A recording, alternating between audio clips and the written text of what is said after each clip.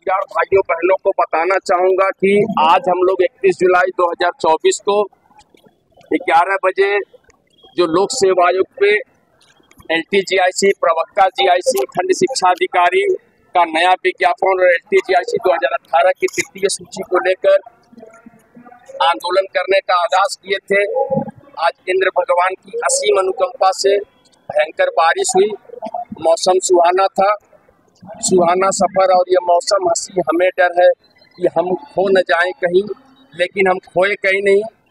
हम एक नौकरी की तलाश में लोक सेवा आयोग पर पहुँचे हुए थे, लगभग 12 बजे करीब, और वहाँ पर हमने ज्ञापन दिया। आप देख सकते हैं कि इस ज्ञापन को जो है लोक सेवा आयोग पर हमने रिसीव कराया।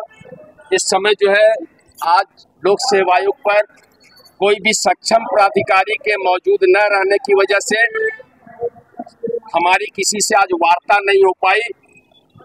इसलिए नए विज्ञापन को लेकर और एल टी जी आई दो की तृतीय अवशेष श्रेष्ठता सूची को लेकर आज स्पष्ट जो है स्थिति लोक सेवा आयोग द्वारा नहीं की गई।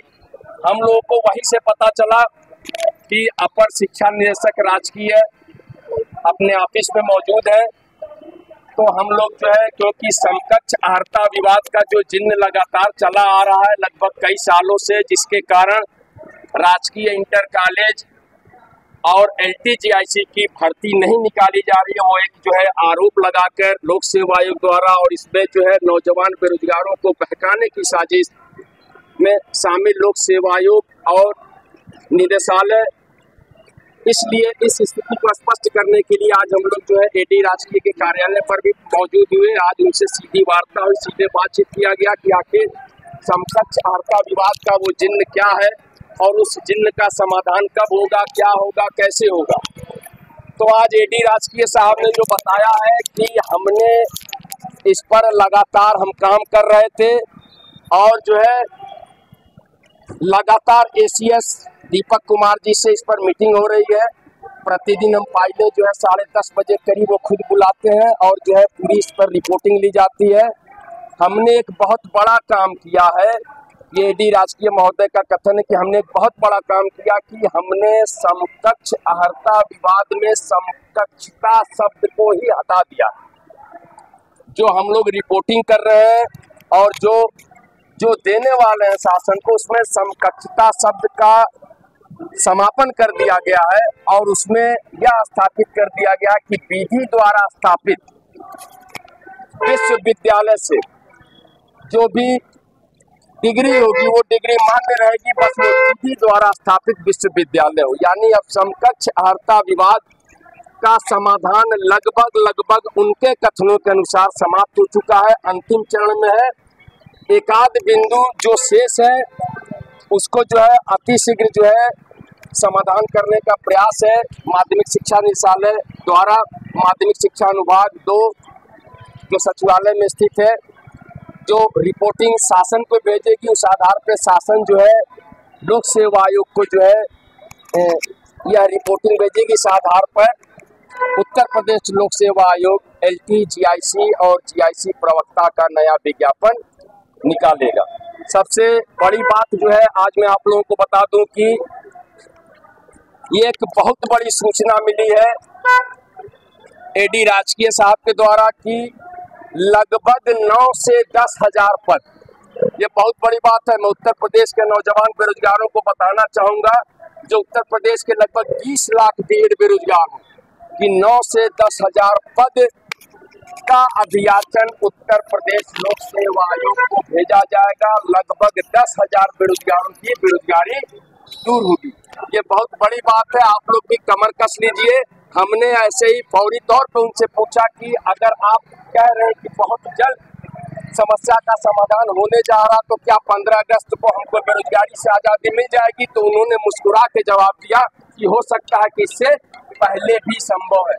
तो यकीन जानिए, मैं उत्तर प्रदेश के नौजवान बेरोजगार भाइयों, बहनों से अपील करूँगा और यह बताना चाहूँगा कि आज एक बड़ी सफलता प्रतियोगी छात्र मोर्चा ने पाई है कि हमने समकक्ष अर्ता विवाद का जो समाधान का मामला है, वो लगभग लगभग समाप्त हो गया है। समकक्षता शब्द को ही हटा दिया गया है। विधि द्वारा स्थापित विश्वविद्यालय से प्राप्त डिग्री मान्य रहेगी और बहुत जल्द एक रिपोर्टिंग जो है शासन के द्वारा लोक सेवा आयोग को भेजी जाएगी, जिस आधार पे लोक सेवा आयोग एल और जीआईसी प्रवक्ता का नया विज्ञापन जारी करेगा। इसके लिए थोड़ा सा आपको साथ देना पड़ेगा। मेरे साथ कदम से कदम मिलाकर चलने की कोशिश करिएगा। हम एक साथ एक साथ, एक जगह मिलकर साथ लड़ाई लड़ेंगे और हमें उम्मीद है कि एल टी जी आई सी जी आई सी प्रवक्ता का नया विज्ञापन हम बहुत जल्द हासिल कर लेंगे। उत्तर प्रदेश लोक सेवा आयोग से। जैसा कि आज लोक सेवा आयोग में जो हमारा कार्यक्रम था, उस कार्यक्रम के मद्देनजर हम लोगों ने आज किसी से मुलाकात नहीं हो पाई, क्योंकि सक्षम प्राधिकारी के न रहने की वजह से मुलाकात संभव नहीं हो पाई। थोड़ा मौसम भी आज अजीब मिजाज रखा हुआ था, इसलिए हम लोगों ने फैसला किया है कि पाँच तारीख को, पाँच अगस्त को मैं उत्तर प्रदेश के नौजवान बेरोजगार भाइयों बहनों से अपील करूँगा कि आप देख सकते हैं, पीछे हमारे तमाम उत्तर प्रदेश के नौजवान बेरोजगार भाई और बहन मौजूद है, जो कि एक नौकरी की आस में लगातार लोक सेवा आयोग पर हम लोग धरना प्रदर्शन कर रहे थे। आज हमने समकक्षा शब्द का भी समाधान लगभग करा दिया यहाँ पे। तो पाँच अगस्त को एक बार फिर से हम उत्तर प्रदेश लोक सेवा आयोग पर ठीक ग्यारह बजे पहुँचेंगे, जिसमें आपको आना बेहद ज़रूरी है, क्योंकि अगर आप नहीं आएँगे तो हम कमज़ोर हो जाएँगे। हमारी जो ताकत है, वो आपकी बदौलत है। एक एक लोग मिलकर कदम बढ़ाकर एक साथ अगर चलेंगे तो ये बहुत बड़ा कारवा बन जाएगा और हमें निश्चित सफलता मिलेगी। तो मैं उत्तर प्रदेश के नौजवान, बेरोजगार भाइयों, बहनों से अपील करूँगा कि मेरे भाई है मेरी बहन आप अगर इस इलाहाबाद की मुकदस ज़मीन पर मौजूद हैं हैं यहाँ पर और एक नौकरी पाने की ख्वाहिश रखते हैं, सोचते हैं कि हमें एक नौकरी चाहिए, पहले नौकरी मिलेगी तो फिर नए पेंशन और पुराने पेंशन पर भी बात हो जाएगी। लेकिन पहले नौकरी मिलने दीजिए, उस नौकरी को पाने की कोशिश में जो है आपको हमारा साथ देना पड़ेगा, आपको आना पड़ेगा। हम पाँच अगस्त को उत्तर प्रदेश लोक सेवा आयोग पर ग्यारह बजे फिर मौजूद होंगे। हमारा सवाल फिर वही होगा कि एल टी जी आई सी और जी आई सी प्रवक्ता का नया विज्ञापन आखिर कब निकालेंगे? एल टी जी आई सी दो हज़ार अठारह की तृतीय सूची आखिर कब निकालेंगे?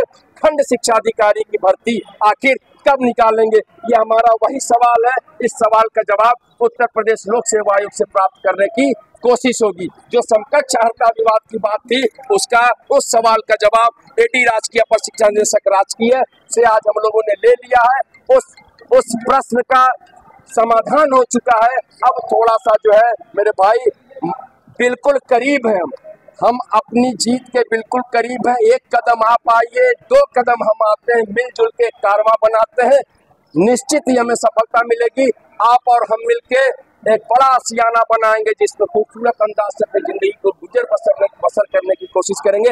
आप हमारे साथ आइए, कदम से कदम मिलाकर, एक ताकत के साथ। पाँच अगस्त को लोक सेवा आयोग पर ठीक ग्यारह बजे, ताकि हम एल और जीआईसी प्रवक्ता का नया विज्ञापन निकाल सके और निकलवा सके ताकि जो हमारे अरमान है, जो हमारे सपने हैं, जो हमारी ख्वाहिशें हैं, उन ख्वाहिशों को पूरा कर सकें और अपनी ज़िंदगी को सुकून से जीने की कोशिश कर सकें। बहुत बहुत धन्यवाद। मैं विक्की खान, प्रदेश अध्यक्ष